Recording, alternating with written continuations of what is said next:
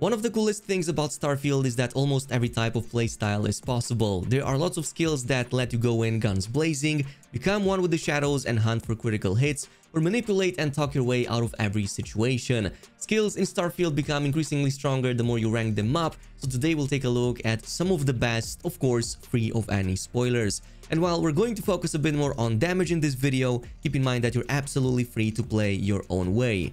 Now, there are 82 skills in Starfield split between 5 distinct categories, each with 4 distinct tiers that will progressively unlock as you spend more points in them. So you will need to spend 3 points into a category to unlock tier 2, 7 for tier 3, and finally 11 to unlock tier 4. As you level up and gain additional skill points, you can then spend them to unlock new skills, but also to rank them up and make them a lot more powerful, even gain new effects up to a maximum of rank 4 for each skill. So that's quite a lot of levels, but we're going to focus on some of the strongest beginning with the physical skill tree. So the physical tree has probably the highest concentration of really good and useful skills in all aspects of the game, especially in combat. If you want unarmed damage or super high health regen, even better ways to jump and maneuver around the environment or gain an insane boost to stealth, this has all of that and more.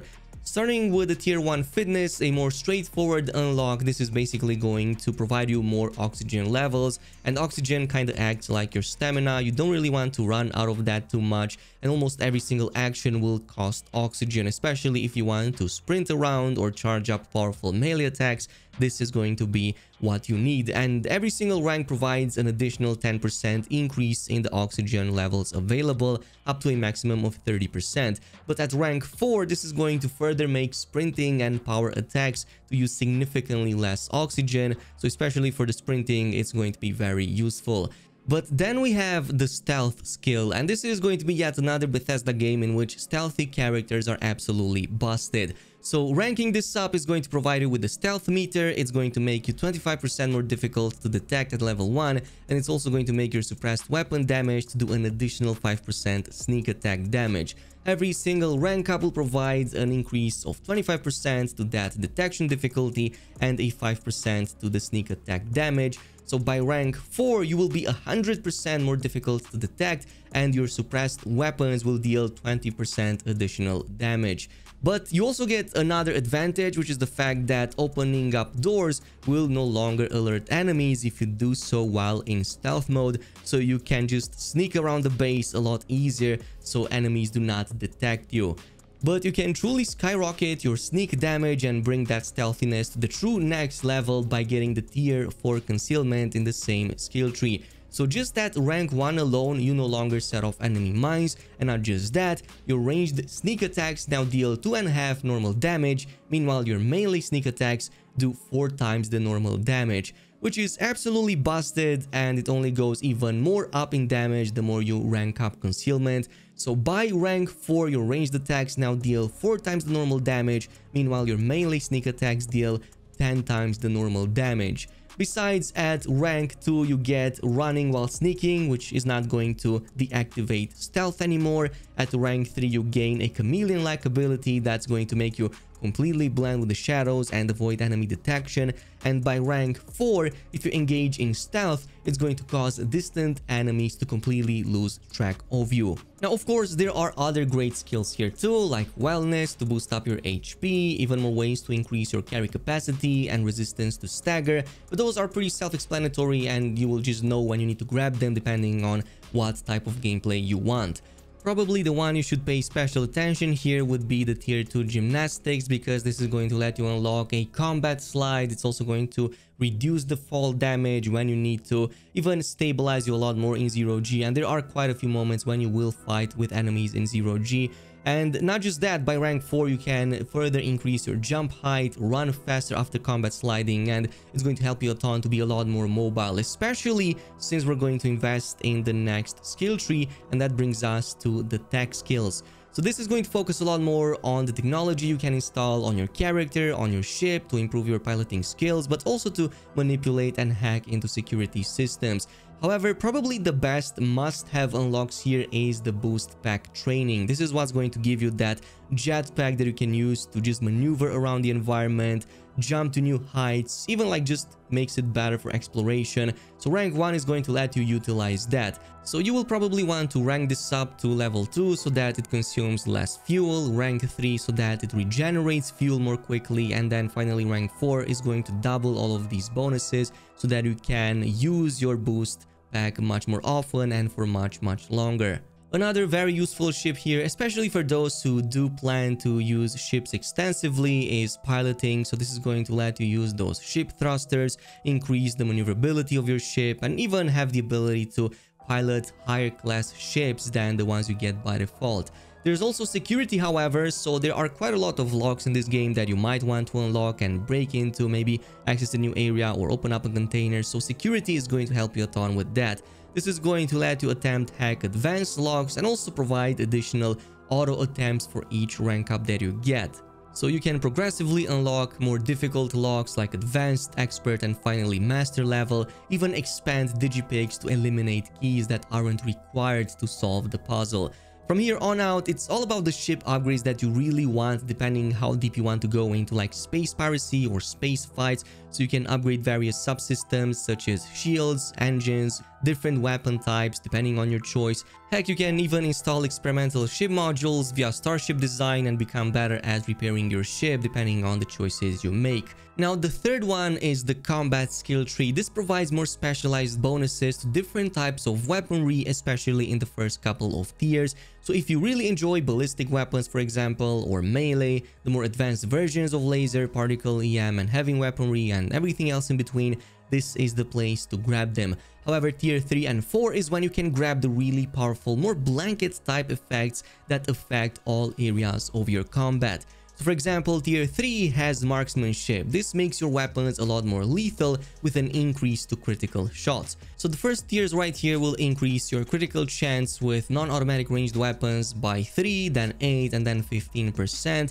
However, by rank 4, this is the one that you really want because critical hits using non-automatic ranged weapons without a scope do double damage and those with scopes will knock down enemies on the next shot.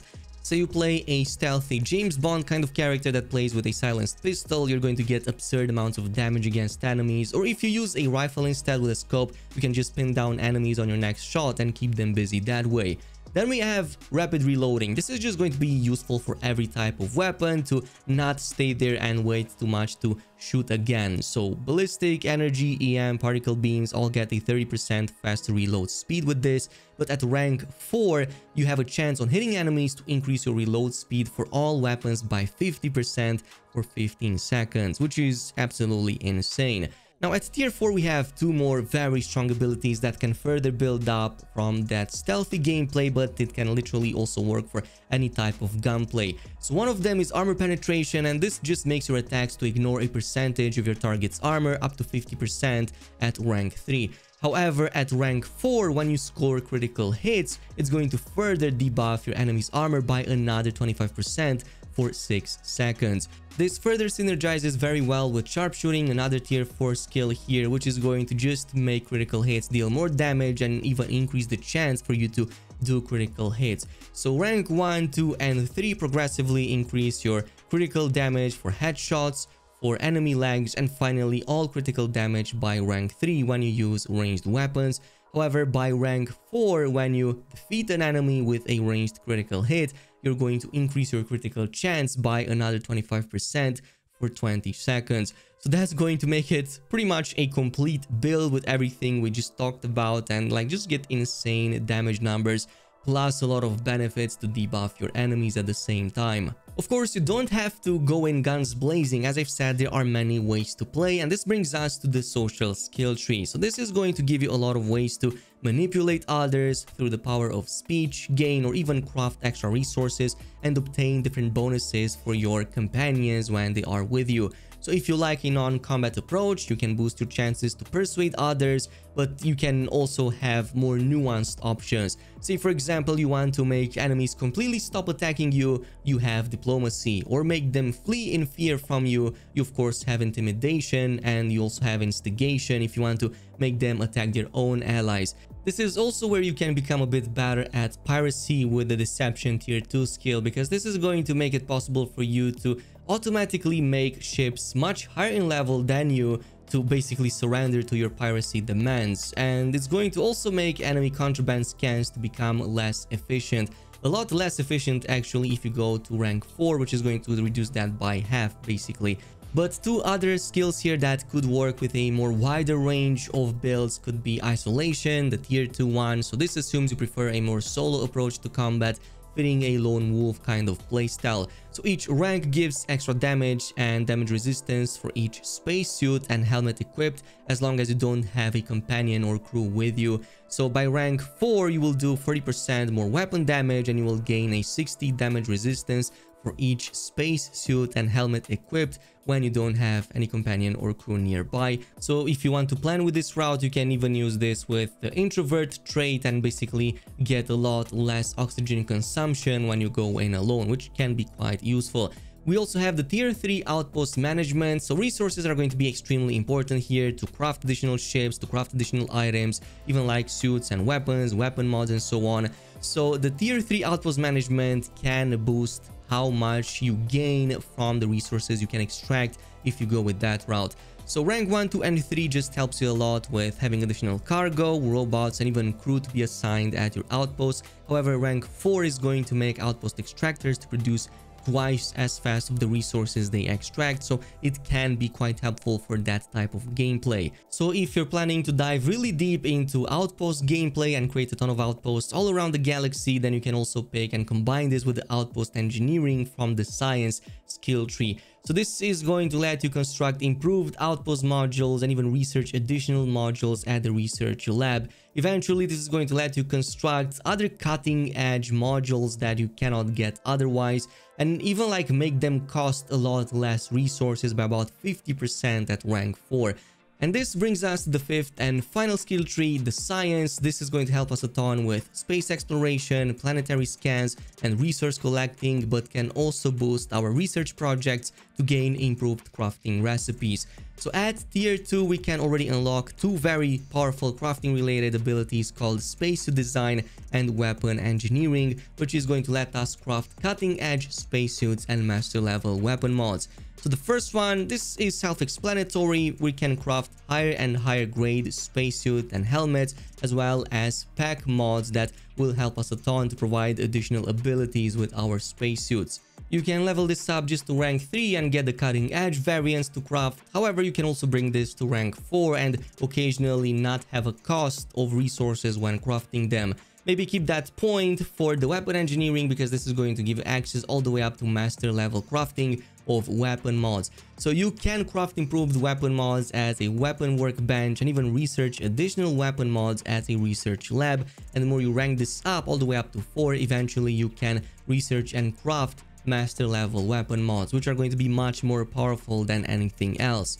And like I said with the outpost building, if you really want to dive deep into that type of gameplay, Science Skill Tree has one more ability here called Planetary Habitation. This doesn't just increase the total max outpost you can build, which at rank 4 would be 16, but also the types of planets you can place them on. So you can now build them on extreme pressure, gravity, and so on. These types of planets that you normally cannot and would otherwise need other ways to navigate. So yeah, lots more content like this coming up for Starfield on the channel. Again, we're also doing that giveaway. So if you want to stay up to date with everything regarding the game, totally make sure you subscribe, leave a like on this video, and activate that notification bell. And I'll see you guys in the next video.